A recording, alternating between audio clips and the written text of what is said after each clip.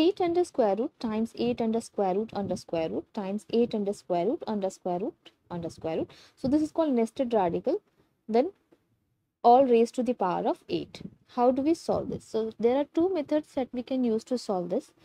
Let's try the method 1. So 8, we can write it as 2 to the power 3, then times square root of 8 again 2 to the power 3 and then square root of 8 as 2 to the power 3 then whole raised to the power 8 now this square root means this 2 raised to the power 3 is raised to the power of 1 upon 2 so 2 raised to the power 3 then whole raised to the power 1 upon 2 then raised to the power of 8 then times 2 raised to the power 3 this 2 raised to the power 3 is under 2 square roots.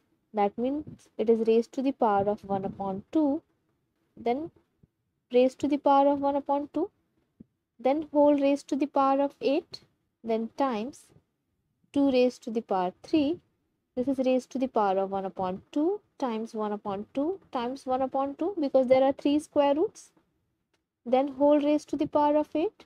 Now we have 2 times 4 is 8 and 2 raised to the power 3 whole raised to the power 4 this is in the form of a raised to the power m whole raised to the power n. This is equal to a raised to the power m times n.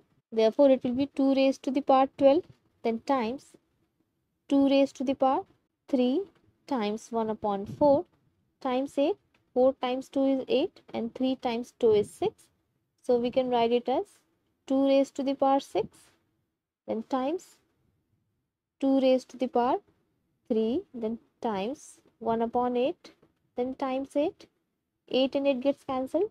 So this is 2 raised to the power 3 now there is an identity a raised to the power n times a raised to the power n. This is equal to a raised to the power m plus n. Therefore this will be 2 raised to the power 12 plus 6 plus 3 so it is equal to 2 raised to the power 21 so this is one method of solving it where we solved in 2 and 3 steps. There is another method. So we have 8 then square root of 8 under square root. Then this square root of 8 this we can write 2 square times 2 under square root then whole raised to the power of 8. Now 8 then square root of 8 this is 2 square under square root times 2 this square root gets cancelled with the squares so it is times 2 times square root of 2 then whole raised to the power of 8 or 8.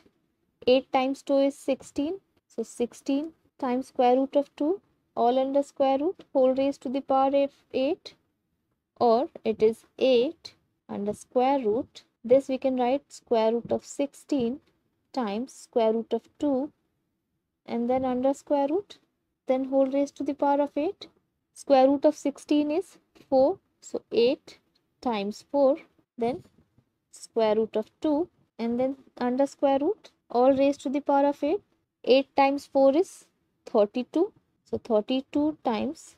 Now 32 under square root means 32 raised to the power of 1 upon 2 and this 2 is under this square root this square root and this square root. So it will be 2 raised to the power of 1 upon 2 times 1 upon 2 times 1 upon 2 then whole raised to the power of 8 again 32 is 2 raised to the power of 5 then whole raised to the power of 1 upon 2 then whole raised to the power of 8 then times 2 raised to the power of 1 upon 8 times 8 2 times 4 is 8 and 8 times 1 is 8 so we have 2 raised to the power 20 times 2 raised to the power 1 and this is equal to 2 raised to the power 20 plus 1 is equal to 2 raised to the power 21.